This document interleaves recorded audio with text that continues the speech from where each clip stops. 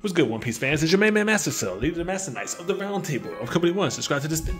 And we're here back with another one ass piece review. Now, if I'm honest with y'all, I didn't expect to review this episode. Because as you can tell, this is more later than the night than I typically do my One Piece videos, and I'm wearing a WWE shirt right now because I just went to a WWE event. Bad Blood was in Atlanta. And honestly, it was a glorious show, and I regret nothing. You will see me rocking the OTC in future videos, which I'm gonna need because for those who keep up to date with that show and the program, hopefully this shirt isn't expired tomorrow, if you know what I mean. But this is a One Piece video, and me coming back to that event, I got back to the house late, so I first thing I did when I came home was watch One Piece after heating up some chicken wings that I couldn't beforehand, just to paint the whole picture. I cut the fuck out of those chicken wings.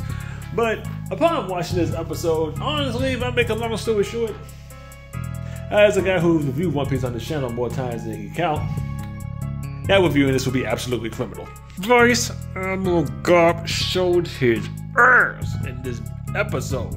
This episode was more Garp than we ever got ever.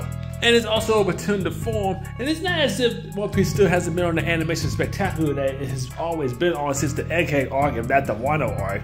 But as you can tell with the last couple episodes we were having finished off what happened at the Reverie, we haven't had a chance to pretty much flex this One Piece great ass animation. So with all that being built up to this moment, this episode, and more likely the next, seeing how that preview went, was the entirety of it. Even from conversations, big ass attack moments, motherfuckers coming in doing this, garbage bum, bumming all these pirates out at the same time, and that flashback with Aokiji when he was Garp came in there pissed off, talking about how Luffy wants to be a pirate. Excuse me, he said his grandson. Why was that the most beautifully animated moment of this episode? That shit was like an early Simpsons episode with like a million dollar budget. That conversation was so fluid, like this real life doesn't move as good as this. and the weirdest part about all this is not to spoil anybody, but it's not even done yet. That's what I'm talking about next week. Not only do we see have to see Koby get back into action and Garp continue his fight with Aokiji, like despite how the preview showed you in its own, bruh. Especially with the hype of all this being the line where Aokiji said you made a troublesome apprentice, and he's like you're expelled. But he didn't say apprentice, he said student. And then next episode hyped up, you know, the whole thing with Koby. No shade to anybody, but all that he's considered as far as Garp is concerned, Aokiji, you're out. Koby, you're in. Show me what you got next week. Oh my god, I'm gonna turn this AC up. It's hot as fuck. For those who see my earlier videos, maybe I wasn't too keen on the Bleach return, but from a good ass Rama return, from a good ass WWE pay per view, some good ass chicken wings, and now this One Piece episode, the hype has been real all day today. It's a hell of a Saturday. I don't care what no one tells me. Let's not stop it though. Let's keep getting into it. You should shake your hot sauce before you use it, just in case you didn't know. As I was saying, this episode was all Garp. It started the whole thing off, even with a flashback of showing how Garp was training in the first place, punching the marine ships. Except you, if you was using Haki, you're cheating. You have to use your actual hands and whatnot. That's that type of training method doesn't get you this far. There's a lot of characters I could say that young Garp kind of looks like in anime, but honestly, the first person that went to mind was like a Zoro had black hair type shit. like a pre-time skip Zoro had this One Piece animation they have right now. He was a little bit more bulkier. That, that, that that's what young Garp looks like. And just continuing off of that flashback, we do see Aokiji. Why even call him that anymore? We see Kuzan. Pretty much, he knows this Garp is doing all this, and he wants to do as Garp is doing. He tries to start punching that thing, and it immediately hurts his hands. Pushing the steel part of a boat, I imagine, would do that. This ain't the Going Merry. Wow, did I just make that joke? The entirety of the One Piece fan base, I just, I, I apologize. But even though Garp was like, if you use Haki, Haki is not going to be real training, Kuzan was like, bruh, I wasn't even using Haki. Like, bruh. even under the watchful eye of one of the head admirals at the time, like, like these guys are just going in on these ships. And that was pretty much the basis of their training. Because, you know, like, even Garp was like, you want to shadow somebody, shadow somebody else because, you know, I like my independence. I don't mean to undermine the, you know, training process of the admirals, but it appears it doesn't take too much. Which kind of gives you the feel of maybe it's not actually what the training regimen itself, is how much you put into your training underneath somebody in the Navy, as an underneath an admiral that forges this bond. As a guy who was one of the admirals, one of the top admirals, to facing freaking Akainu to be the top guy and almost winning that fight, you can imagine that Aokiji Kuzan worked his ass off to get where he is today. Even though that place where he's at today is a top pirate of one of the most evil groups in the show. Not to mention, you can imagine Garp being pretty much the most top flight guy besides the fleet admiral. Thinking more or less, he probably just didn't want that position. Despite the master student relationship they had, these guys came up together, got that strength together. And it gives you the feel that that student master relationship is kind of just by title alone. I'm not trying to say these two was best homies, but after watching that fluent ass flashback, I mean, what feel did you guys get from it? My apologies. I, I, just realized I messed up there. I was talking about Luffy earlier, but Garp was having that fluent flashback. He was actually mad that his son, Dragon, became a revolutionary. My apologies for that. I know somebody's not going to watch this entire video and correct me on that, I can tell. At least this part's my own fault. Unlike Fairy Tail fans. But moving on, honestly, yes, this episode had all the hits. Even before Kuzan got back in the picture, it was the moments where Garp was just punching out that one big dude, the guy that looks like, you know, one of those same guys as in uh, Oars type shit. Garp just jumped up and punched him in front of everybody. Garp, and Black, the Blackbeard Pirates playing commentary throughout the whole episode with their eyes popping out of their head like Luffy's Gear 5 is here. But the Blackbeard Pirates got a W outside of Kuzan this episode. It is indeed Shiryu, if I'm saying his name correct, as in the guy from Impel Down. Despite all these considered Kuzan's betrayal of the Navy. This guy, this, this, guy, this same guy that got one of the best devil fruits ever, apparently the Sanji, if not the best fruit coming out of freaking Thriller Bark. Gecko Moria came through here to talk about he want that guy back. With his invisible, invisible fruit, he makes a distraction for Koby, making like damsel in distress kind of thing, but they end up being a trap just for him to come through and try to stab Koby. Garp notices this and he blocks it. However, he blocks it with his flesh. And honestly, at that point, you have to talk about a different conversation here.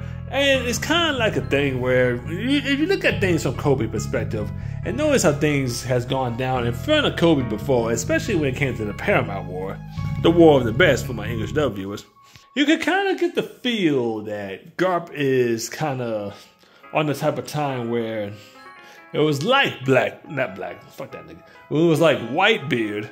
That sounds slick racist to anybody else? My bad.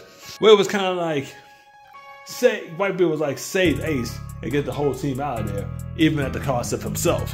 Now, I you do this episode and look at these again from Koby's perspective, knowing about that type shit.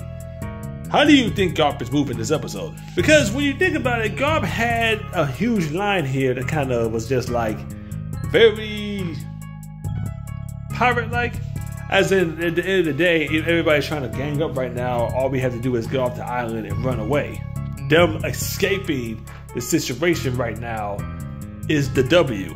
Throughout the history of the 1100 episodes of One Piece, while we have had plenty of times where Team Straw Hat had to indeed secure the W, they have it beat the other opponent to be seen as the victory.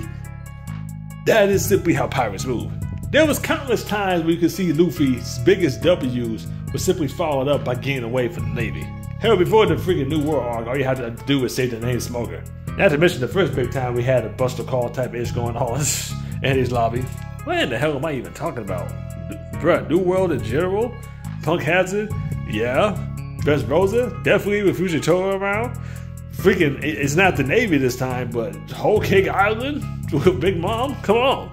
So needless to say, the mentality that Garp got right now is kind of one of a pirate. If we save Koby right now, which what we came to do, that is the W, and let's just get the hell off this island. However, with Garp trying to take on everybody himself, trying to throw every, all these bodies out the way, and taking these huge stabs and whatnot by generals and whatnot, again, Garp just wants everybody else to leave. If he gets taken out, he gets taken out. That's not his goal for himself to leave. He wanted to save Koby and as many other people as he can. At the same time, Annabelle just makes the Blackbeard pirates look that much more as the bad guys, which they are, in nobody else's eyes. The eyes of freaking Oda. For those who forgot, despite Imu being around now and Akainu being a thing still, Blackbeard is still very much widely thought of as Luffy's final opponent. opponent. I ran, rambled on for a minute there, so let's kind of wrap things up. Like I said, Kuzan does come back. Those beautiful flashbacks aside, but when I finished this episode, I went immediately to Twitter and when I was first watching this episode, I see this as one big thing of them trying to gear up one big ass attack against each other, and that is indeed what happened. But bruh, they Twitter is all over the place highlighting how how these two guys with these big, big ass animation moments behind them gearing up this Haki attack on each side made it look like a majestic ass dap. And these guys are kind of like just clasping hands. Like I can't do it with one hand, but you anybody who's handshake a black guy before know what I'm talking about. Stop being racist. You've dapped it up a homie before, right? Come on, channel. Again, I wanted to act like the best homies, but the vibes are just there. And this episode made me feel like Garbage Kuzan is the breaker from 2024. and that stick means all of the homo that they have admit that's how it felt. But jokes aside, they did have the big lads and blew each it back, so they're kind of both out of commission right now, even though that still means Garp has one up. This is the second time Kuzan is down for the count. But we come to find at the end of this episode, this guy, whose name I believe was like Alonzo or something, he has a huge devil fruit power, but it turns out he himself is Pirate Island and not the big skull and hand part of Pirate Island. And in very much dramatic fashion, we have the cliffhanger heading off into next week, as in our opponent right now at the time, while we try to leave Pirate Island, is all these considered Pirate Island. Again, this is the Blackbeard squad, the Blackbeard Pirates. They were coming fully equipped. Matter of fact, they didn't come at all. You guys came over here. All this considered, all mistakes is kind of classified under what did you guys think this was? But this video is getting long, and I believe I made my point. This freaking episode was crazy. But maybe it didn't have huge complex com ah, my bad. Maybe it didn't have huge climactic moments like we had near the end of Wano, like the end of Zoro's fight, the end of Luffy's fight, and blah blah blah. But I've been seeing those One Piece lists of the best episodes of One Piece and the best animated episodes of One Piece, and I've always kind of had the thoughts as in which Egghead episodes could kind of find its way creeping in there. Nigga, nigga, nigga. Did we watch the same episode? On that note, it's not even over. Once again, we continue this next week. So in this review, if I did everything besides jump the gun, let's end it here. If you watch this video, leave me a comment. Let me know what you think. Like this video for me, and I'll see y'all. Peace out. Subscribe to the Spin Move. Mm-hmm. You know, at this point, having a bunch of One Piece friends that either fish with Luffy or Luffy and his bros kind of feel basic. Like, we're gonna need more variety in this house.